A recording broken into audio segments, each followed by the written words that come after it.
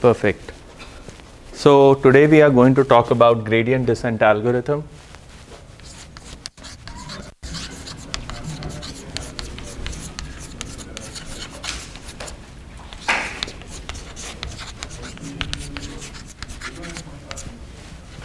Okay, so throughout this uh, course in optimization, everything we will talk about henceforth will be based on the material that we are going to be talking about today. Uh, gradient descent algorithm is uh, an algorithm for solving optimization of this type. I want to minimize x in Rn f of x. So, it is an unconstrained unconstrained minimization problem of a function f. f is a function from Rn to R. It is of course continuous and differentiable. And for the purpose of this class, uh, this course, assume that they are infinitely differentiable. At the very least, they have to be twice differentiable uh, with continuous second derivatives, but let us just assume that they are all infinitely differentiable, so that way we do not get into any trouble.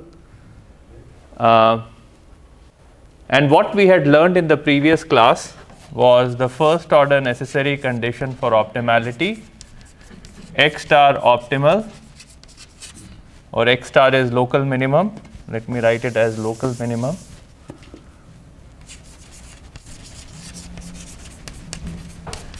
implies gradient of f at x star must be equal to 0. The first derivative of the function f must be equal to 0. Uh, further, I hope you remember this diagram I had made in the previous lecture. So, this is my Rn. These are the points that satisfy necessary condition these are the points that are optimal. These are the points that satisfy sufficient condition. Uh, naturally, when we are trying to solve this problem, minimizing of f of x, we would like to find a point here. Unfortunately, all we can do is find a point which satisfies the necessary condition. And then we'll have to work a little bit more in order to ascertain that the point actually lies here. And that's the purpose of gradient descent algorithm. So, in gradient descent algorithm, we'll find a point here and then we do a little bit more analysis to conclude that actually the point doesn't lie here, but the point actually lies here. So, it takes a little bit of effort. For convex function, of course, if you recall for convex function, all of these three circles, all of these sets are actually the same. So, the necessary condition is also sufficient if f is convex. But in general, when f is non-convex, uh, which is the case in a lot of different optimization problems. So, if you are studying biomedical engineering, if you are studying civil engineering, if you are studying uh, uh, radars in electrical engineering, if you are studying radars and if you are studying signal processing, many situations you will have functions f that are non-convex as a result of which all you can get is at this place. And in order to know whether you are here or whether you are here it takes quite a bit of effort okay? And never obvious given the problem statement. Nonetheless at least we will get to a point which satisfies the first order necessary condition for optimality. So how do we start uh, talking about gradient descent algorithm? So what's an algorithm? An algorithm is we start from some initial condition x naught. Then I need to take, I need to figure out what should my x1 be, what should my x2 be, what should my x3 be. So, I need to go come up with a sequence x naught, x1, x2, x3 and so on. So, that eventually we converge to a point which satisfies the first order necessary condition for optimality. Okay. So, let us think about it. I have a function f I am standing at x, I want to find x prime which is close to x. So, here is how to think about it. So, I am standing at a point x, I want to get to a point x prime which is close to x. Uh, and further, I want to make sure that my f of x prime is less than f of x. This is the requirement. f of x prime is less than f of x. So I'm descending. That's the point of this descent. Okay, so I want to descend in the landscape of the function. So I want to get to x prime which is strictly less than f of x. So what do we do? Let's assume that this is the direction d. So I want to find x alpha x plus alpha d. So I'm assuming alpha is some scaling parameter. So I pick a direction d and I take a small step alpha in the direction d and I get to this point x of alpha and I want my f of x alpha to be less than f of x. Let's try to find out what, what f of x alpha is. So I can use the Taylor series expansion.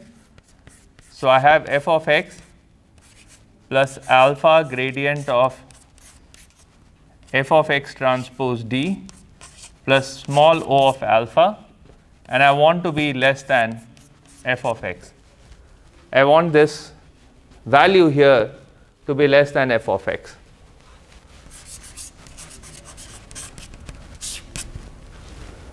As I have mentioned previously, I want alpha to be a small variable. So this O of alpha is supposed to be very, very small. So alpha is small, O of alpha has to be very, very small.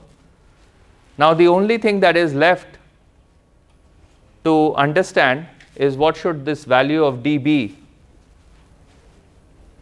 so that this term is less than this term. So now look fx is the same on both the sides so I can actually cancel f of x. So what I, what I really want is gradient of fx transpose d plus O alpha over alpha should be less than 0. Uh, just a small note, I want alpha to be greater than 0.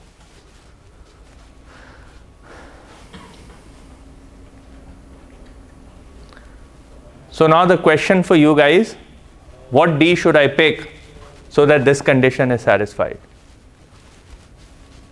Assuming alpha is small positive scalar.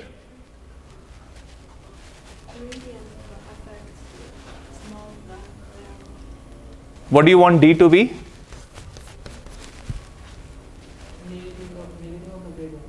Negative of the gradient.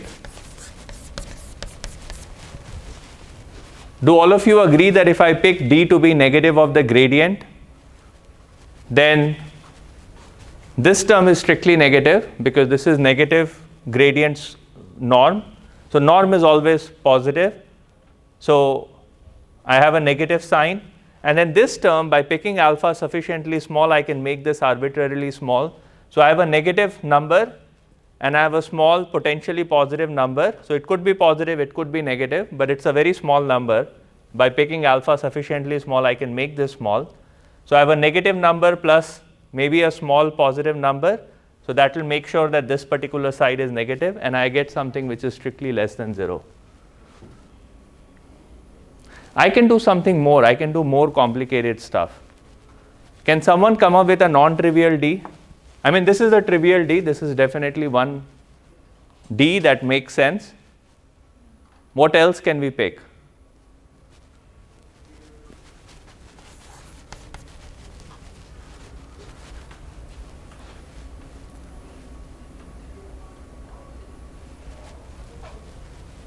How can you come up with a variation of this which gives you a lot more freedom to pick D?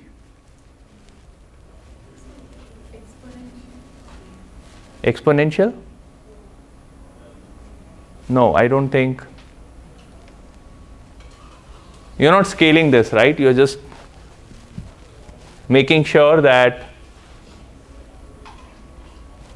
the inner product with gradient of fx must be negative. Yes? uh, constant is already here. So every constant will get absorbed in alpha.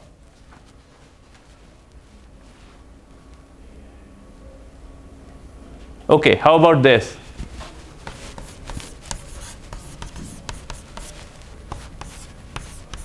So D is a positive definite matrix. I multiply, pre-multiply the gradient with a positive definite matrix. So what do I have here? Negative of gradient transpose a positive definite matrix multiplied by gradient. What do we know about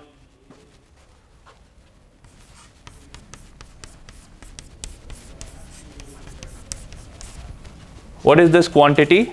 It's strictly positive. As long as gradient of fx is not equal to 0, this quantity is strictly positive. Okay? So, if gradient of fx is not equal to 0, remember if gradient of fx is equal to 0, we are done. We are already at a point that satisfies the first order necessary condition for optimality. So, throughout this discussion, I am assuming that the gradient of fx is not equal to 0. Okay? Only then all of the stuff that we are talking about makes sense.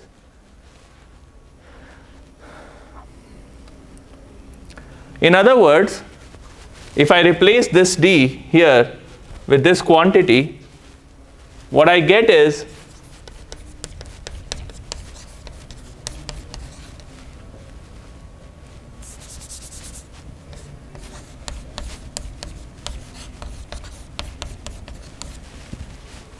and this is known as a gradient descent algorithm. Alpha k.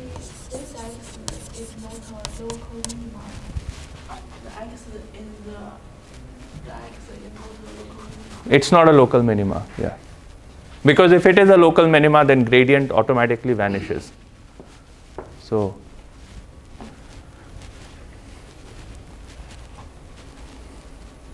any other question? Yeah, I think I missed how you got to that point. This point? Yeah. So, I am replacing d here, this d here with this expression. Okay, so I start with x naught I compute this side, so I have to pick a alpha k which is sufficiently small and dk which is a positive definite matrix and then I get x1 and then I do do this whole operation all over again. So what's the advantage of adding the dk here? What is the value of dk? Uh, I mean advantage of adding dk here. Uh, we'll get to know in a bit. But basically by appropriately scaling dk in certain directions, you can make sure that this quantity is as high as uh, you want. Let's hold on to that question for a moment, okay? We just want to massage this particular value in a way that it's as high as we can make it to be. And that will help us to get to the solution much faster. Okay? So, al so now the problem is how do I pick alpha k and how do I pick dk? Okay, that's my question. How do I pick alpha k? How do I pick alpha naught, alpha 1, alpha 2 and so on? How can I pick d1, d0, d1, d2, d3 and so on? Now of course, uh, one easy option is you pick D to be identity matrix. It's a positive definite matrix, it's identity matrix. So that makes my life easy and that's known as steepest descent. And then there are other ways of picking dk, uh, which we are going to talk about over the next five or six lectures. There are different, different dks that you can pick, and you get a completely new algorithm for solving this problem. So that's the famous gradient descent algorithm.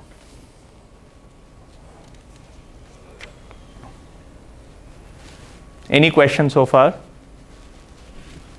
Before I start erasing everything? No?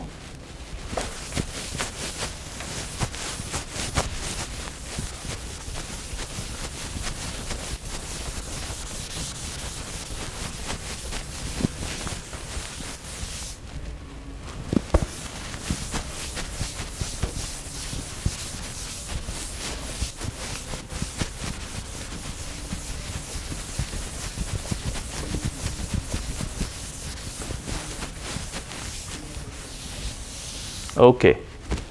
So let's uh, let's study different different algorithms. So I'm going to pick different dks and I'm going to give it a different name. We are not going to talk about alpha k for now. We'll talk about it in 20 minutes. But let's spend the first 20 minutes, the next 20 minutes, talking about various values of dk. So steepest descent dk is equal to identity matrix.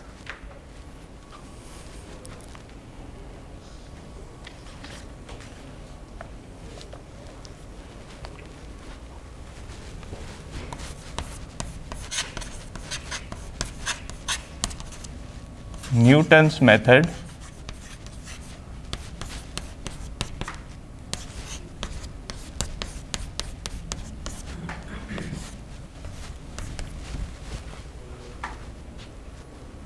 So Newton's method is second derivative of the function f evaluated at xk inverse.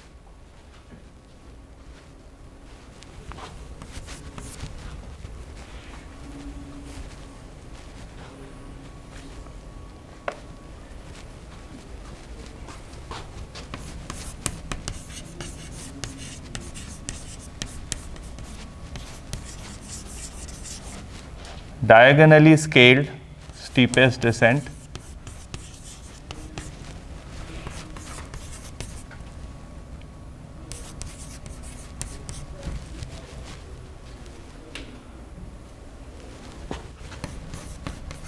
dk is a diagonal matrix.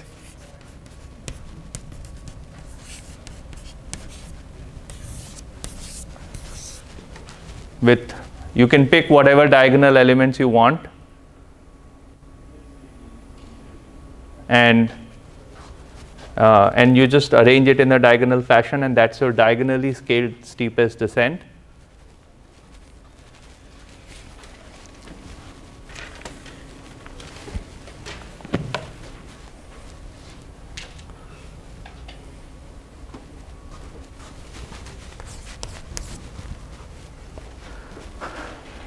As you can see, these are all positive definite matrices that we are picking.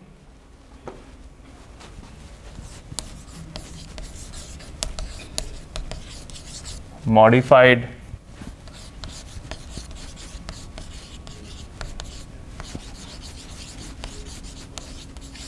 Newton's method.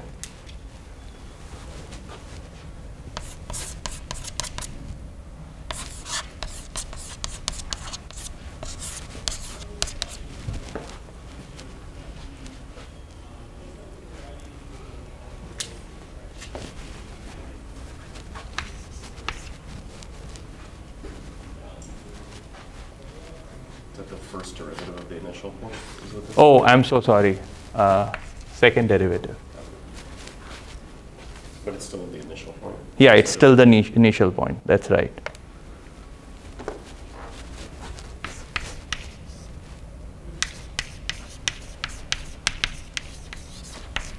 Discretized Newton's method.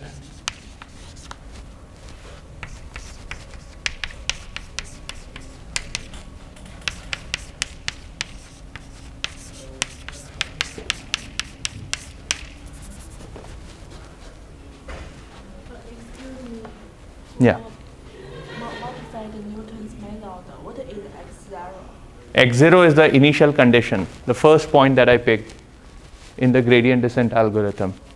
So you pick the first point arbitrarily, like just pick origin or just pick 1, 1, 1, 1, 1, whatever you want to pick. Okay?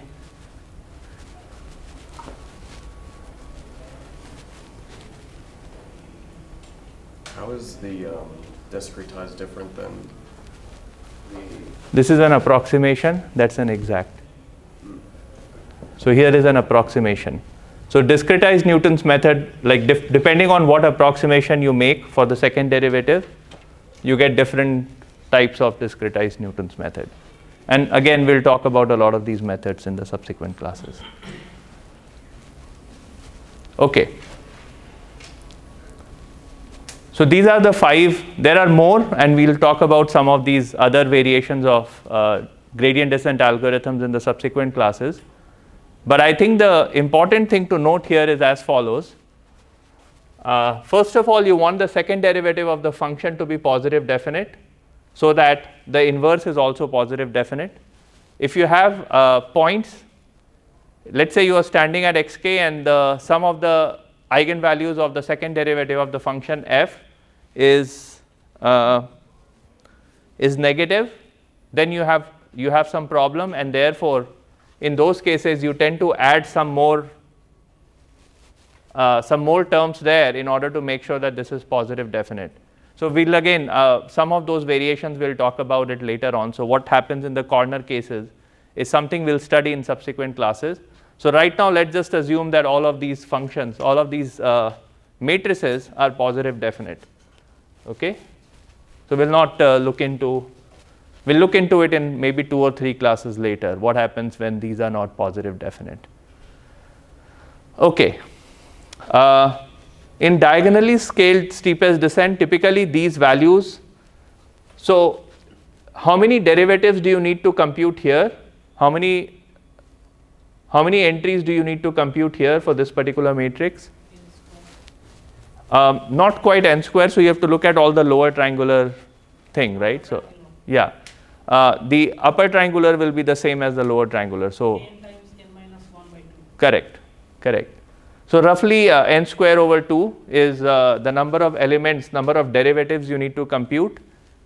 Um, so, that is very computationally intensive. So, not just you have to compute those derivatives, but then you have to invert the matrix. Okay? And matrix inversion is also a complex process which takes quite a bit of effort.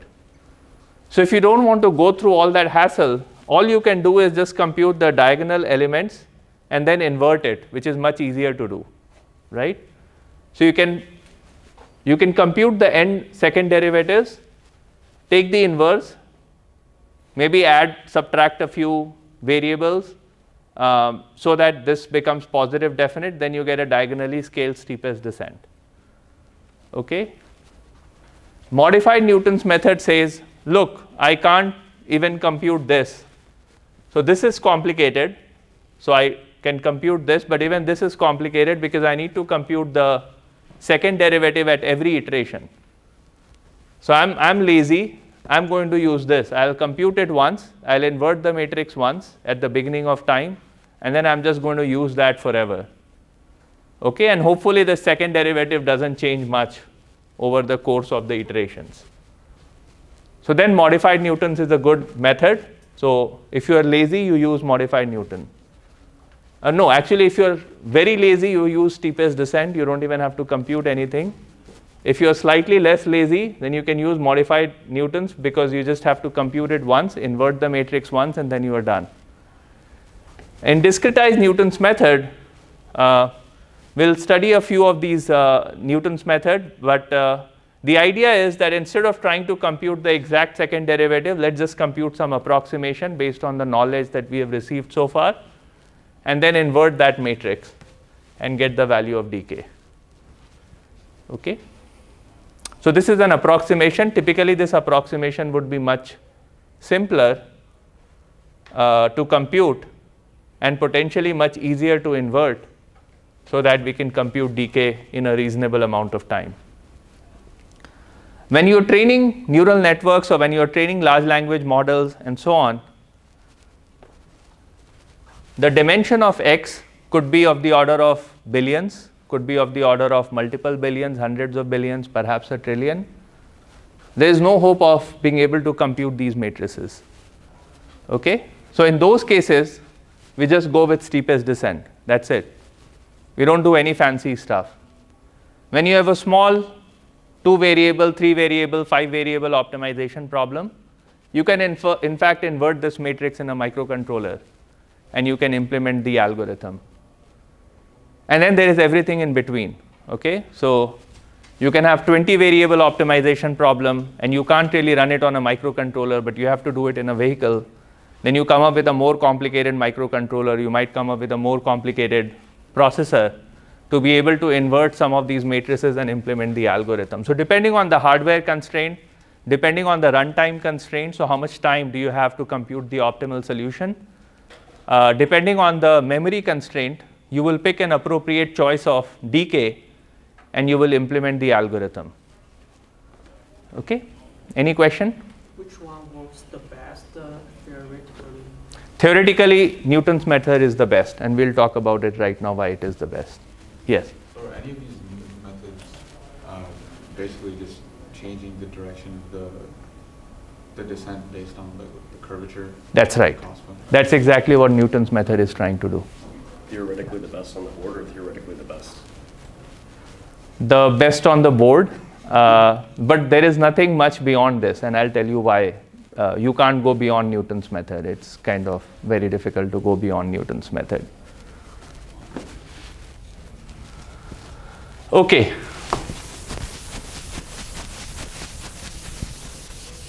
There is another way by, by which you can think about some of these methods. So, in steepest descent, remember uh, f of x plus alpha d is f of x plus gradient of fx transpose d alpha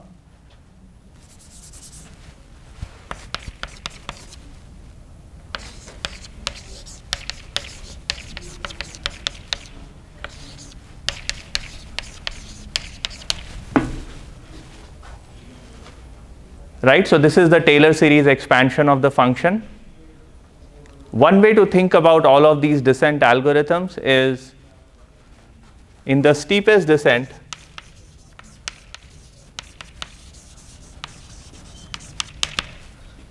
I am trying to minimize over all d. Well, I don't want to say Rn, but whatever. We need, we need to have some d which is finite. Uh, the first order Taylor expansion.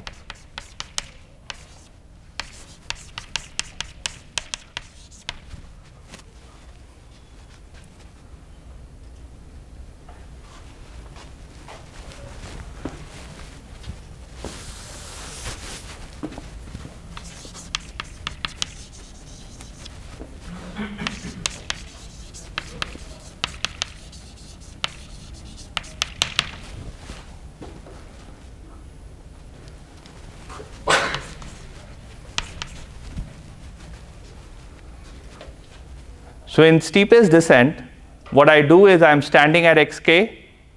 I look at the first order Taylor expansion of the function f of x plus alpha d, and I need to pick the d which minimizes the first order Taylor expansion. Of course, the the optimal d is going to be negative infinity times gradient of fx transpose, but I want to avoid that infinity term. So just assume that this d is supposed to be in some bounded ball, in which case you get, a, you get something which is scaled as negative of gradient of fxk. And then of course you multiply it by the scaling factor alpha to make sure that you are taking a small step. But anyways, this is one way to think about how steepest descent work. On the other hand, in Newton's method,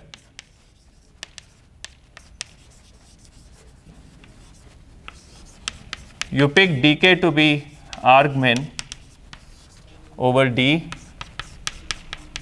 of f of x k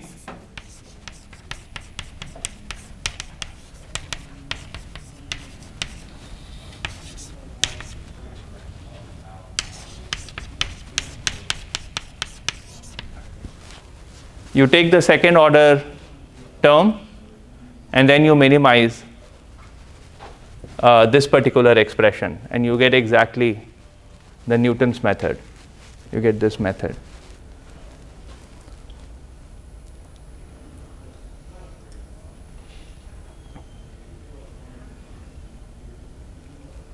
So how can you go faster than Newton's method? More terms. More terms, right? You take the third order term here.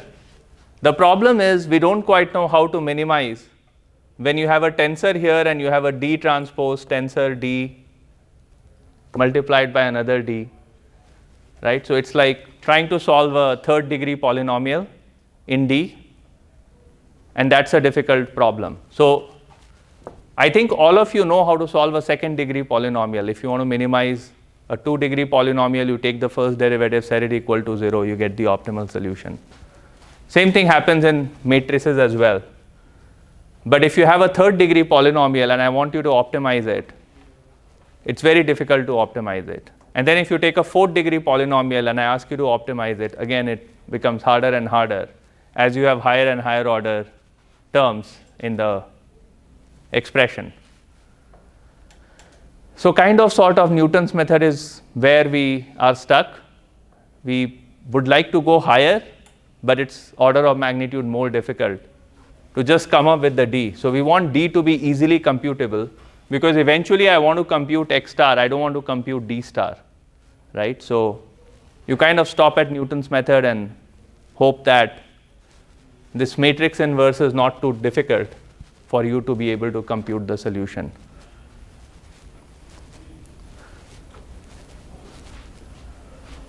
Okay, so that's how you figure out what the descent direction dk is supposed to be. And of course, uh, between the simple one and the most difficult one, you have a bunch of other methods that you can apply, and hopefully, uh, it'll give you a reasonable solution in reasonable amount of time. I think one thing that you should always remember when you're doing optimization, time is an important factor Memory is also an important factor depending on what's the environment in which you are solving this optimization. So if I wanted to optimize the temperature of this room, and I'm sure there is a thermostat somewhere in the back of the room. Oh, there are actually two thermostats here. Uh, so, uh, so I need to solve this problem in that thermostat itself, right? And that's a difficult because in thermostat you don't really have complex processor. At the very the most you can do is apply steepest descent because you might be able to do it in a small microcontroller or a microprocessor. Uh, but if you had more option, let's say you have this entire building and you want to optimize the entire building's temperature in every 15 minutes interval, then I think you can just put a big CPU, I don't know, put a GPU, and then you can compute all the inverse you want in the world to be able to solve the problem in 15 minutes and figure out what the optimal temperature for the next 15 minutes is going to be. Okay, so just imagine um, once upon a time, long, long time ago, like six years ago, uh, we were working on a vehicle and we wanted to optimize the velocity of the vehicle. Uh, this was a research project at Center for Automotive Research. And we had to do some dynamic optimization. So dynamic optimization not something we are studying right now, but we'll be studying it two months later. So we were doing a dynamic optimization and we were able to solve the optimization in 200 milliseconds on the hardware that was available on the vehicle. And 200 millisecond was not good enough. We needed to compute it in under 50 milliseconds. So we had to do a lot of algorithm design in order to be able to solve it under 50 milliseconds. So again, you know, time is important depending on the situation, depending on the constraint, depending on the hardware, depending on the memory on the hardware. You may or may not be able to solve the problem based on whatever is the best algorithm you know of. Okay, so neural network, this is just not possible. This is very much possible. In fact, this is what we all use. If you're doing biomedical engineering or signal processing for, I don't know, the cancer hospital, sometimes you have Sometimes you use this discretized Newton's method or diagonally scale steepest descent to be able to solve those optimization problems. So it's all, all over the place, okay? One size fits all doesn't work in optimization. All right. So we have talked about how to pick the direction dk, uh, or rather the positive definite matrix capital dk. Now we need to talk about how to pick alpha k. So let's look at how alpha k are picked.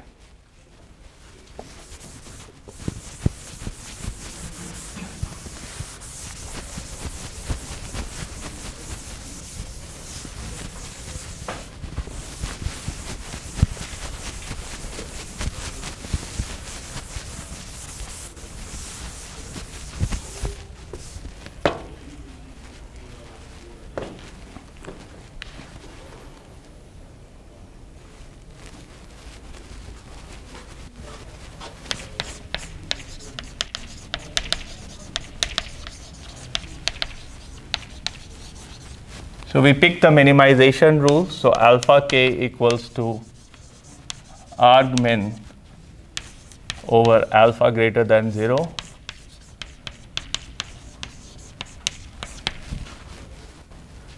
f of xk plus alpha dk.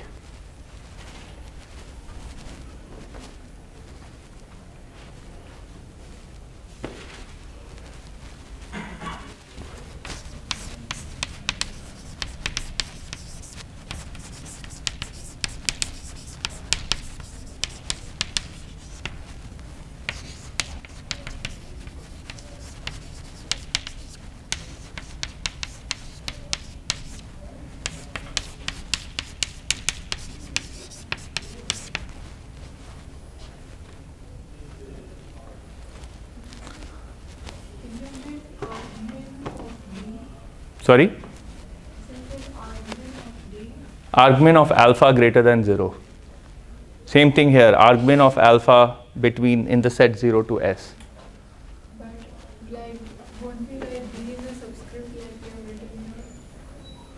No, here we are talking about optimizing D. Yeah. Uh, but now I've already picked a specific dk, let's say Newton's method. Okay, so you picked some gradient inverse and then you have picked the gradient. So that's my dk. This is my dk. Have picked. I've picked, let's say I'm doing Newton's method, right? So I have picked my capital dk and I know what the gradient is. I've computed that. So that gave me my dk. And now I need to figure out what my alpha k is. Okay. So depending on if you're using steepest descent or if you're using Newton's method or modified Newton, this dk is going to be different. So that's why I'm using dk here and not the capital dk. Okay, so in minimization rule, you pick any alpha greater than 0 that minimizes this function. Hopefully computing this argmin is easier. If it is not easy, then you use bisection method or some other method to find this argmin. Uh, if you cannot do this for all alpha greater than 0, you do it for a set of alpha between 0 to s. That's called a limited minimization rule.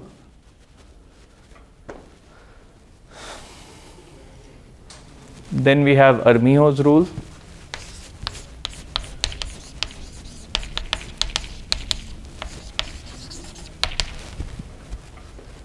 So Armijo's rule is a bit complicated.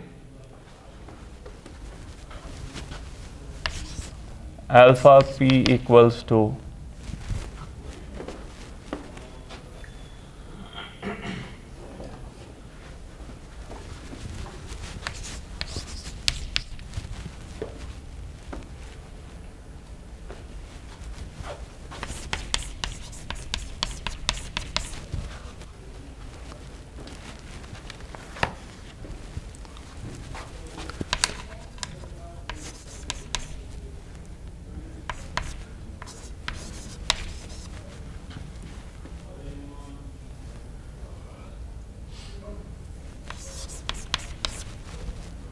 Uh,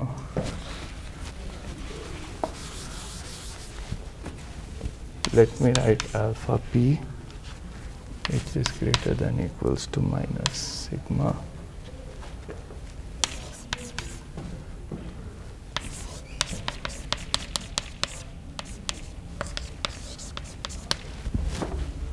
Okay so i'll let you guys write it and then we'll discuss what this is trying to do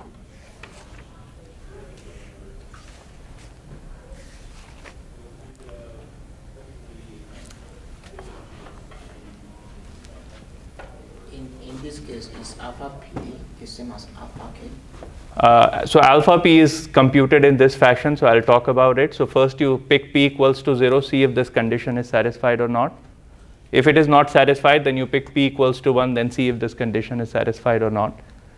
So if let's say for p equals to 5, this condition is satisfied, then alpha k becomes equal to alpha 5. Maybe it's not a good idea to write it as a subscript. Let me write it as a, no, even superscript is not a good idea. Let me write it in this way.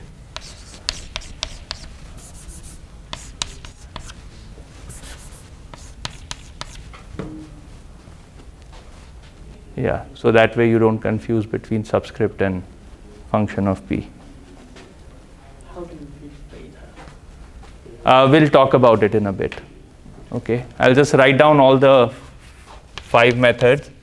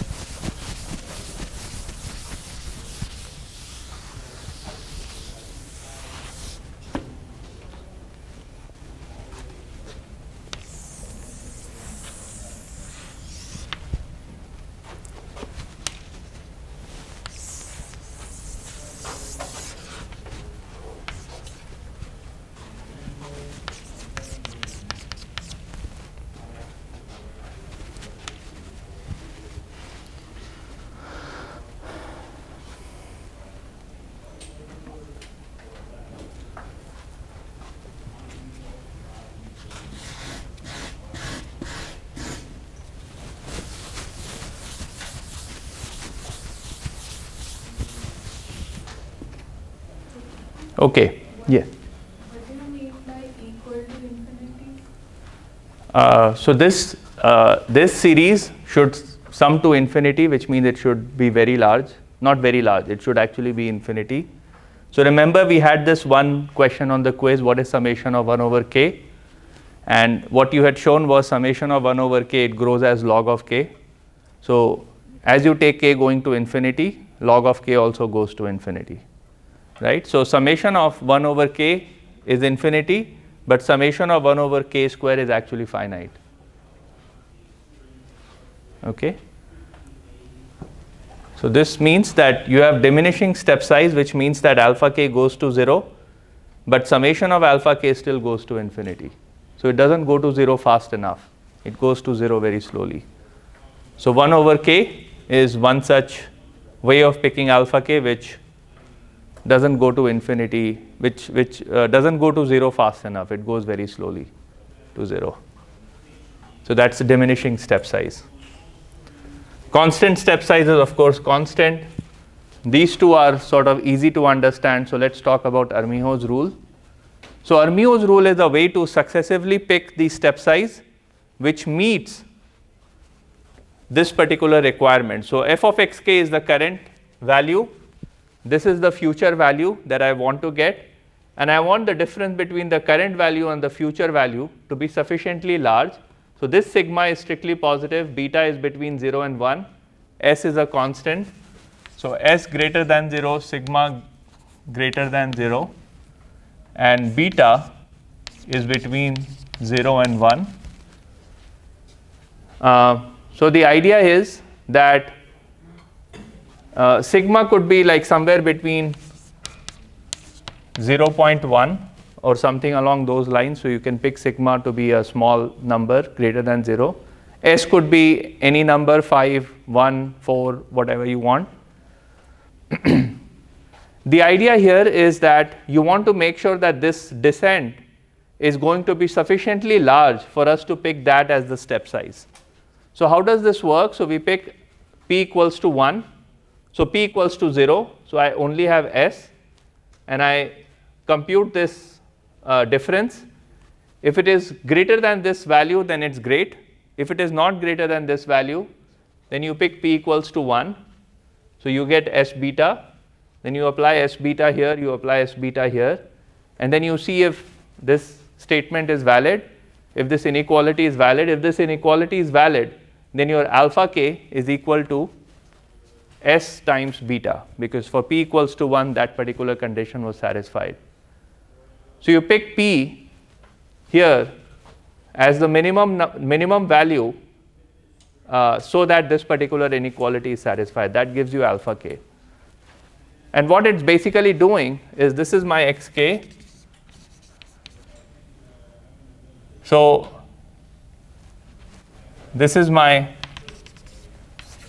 xk plus s dk. This is my xk plus s beta dk. This is my xk plus s beta square dk. Okay, so I first look at, remember the difference is, the difference is uh, this much. This is the difference when p equals to 0, right? So this is my f of xk and this is my f of xk plus s dk. And you see the difference is small, so it's not worth it to take that step. So I'm going to reduce the step size. I'm going to make the step size s beta dk, and this, that gets me to this point.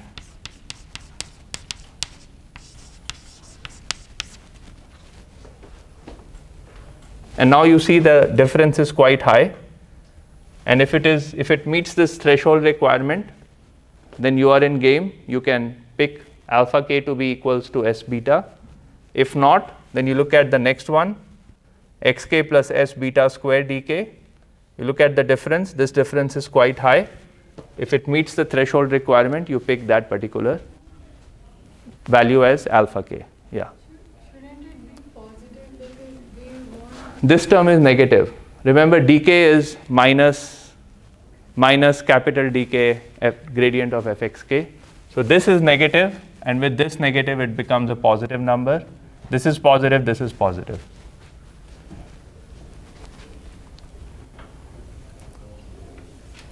What's the problem with Armijo's rule? Okay, so let's look at the problems with picking alpha k. What is the complexity of minimizing a function with respect to alpha? Reasonably complex.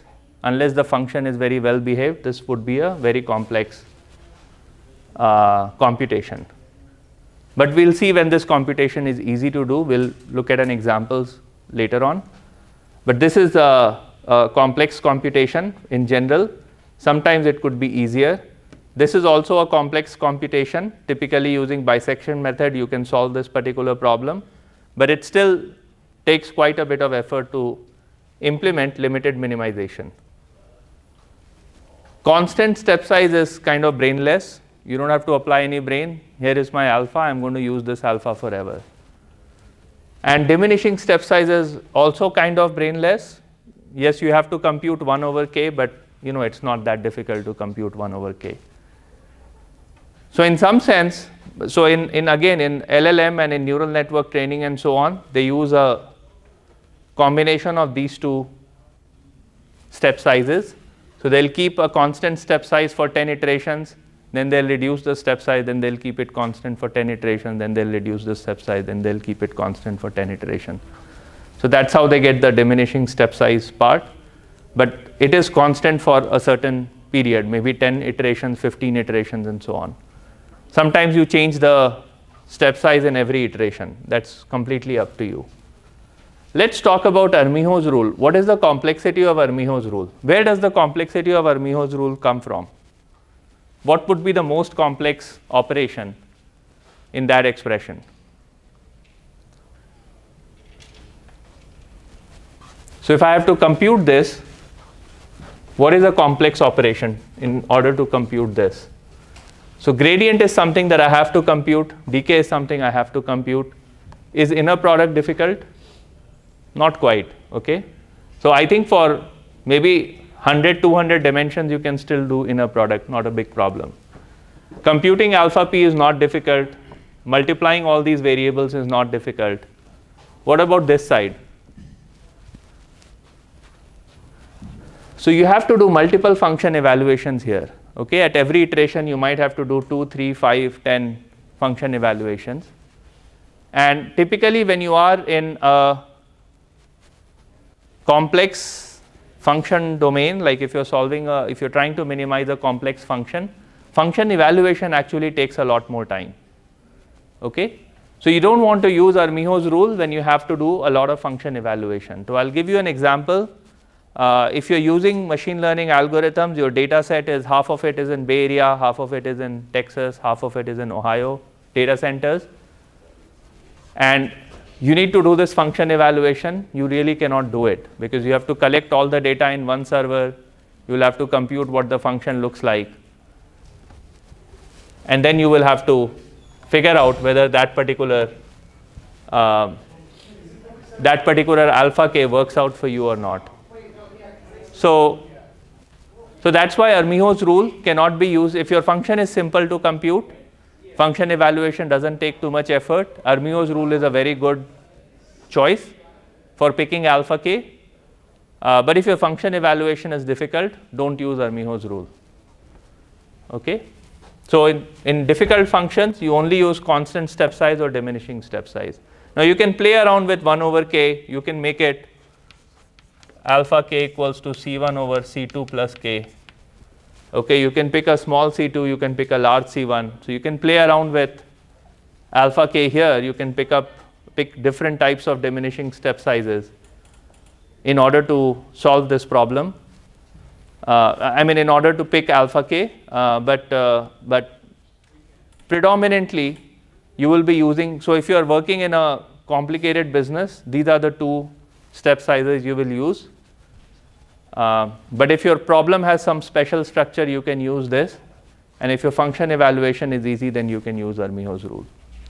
So that's all I have for today. Uh, we still have like two, three minutes. If anybody has questions, I'll answer them. Otherwise, we can adjourn for today. Any questions? Wonderful. Uh, thank you so much. Have a great weekend. Uh, we'll see you on Monday.